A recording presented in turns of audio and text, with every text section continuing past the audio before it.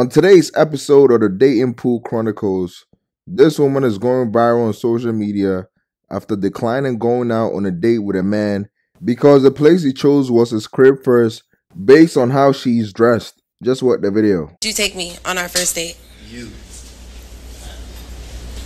If you dress like that, we're going to the crib first, and then we can do whatever after that. If it, depending on how that go.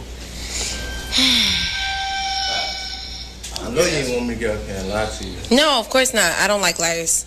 Nah. But, question. Mm-hmm. Why would you be taking me to your house? Shit, what you want to go to a hotel or something? No. B&B? No. Shit, car sex like that too. Wait, oh my god, am I like selling sex to you? I mean, I just feel like, you know, I look good, body look good, but it shouldn't, You make money. it shouldn't, yeah, I make money. I'm a, You look real good. right, like this is, this is like walking beauty. But, like, you know, I have mad respect for myself. Where would you take me on a date? Is that your After answer? the crib, we can go get some food wherever you like.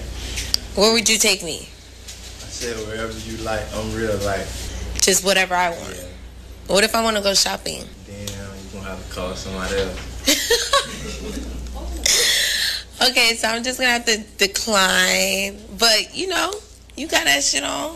You I can give them up these sisters. Um, when I walk away. Alright, bet. Yeah. So we not keeping Ace? Nah, I'm not keeping them. Walk slow now. I'm First of all, with all due respect, ma'am, he cannot take you anywhere because there's a dress code. And to say you have mad respect for yourself is actually wild.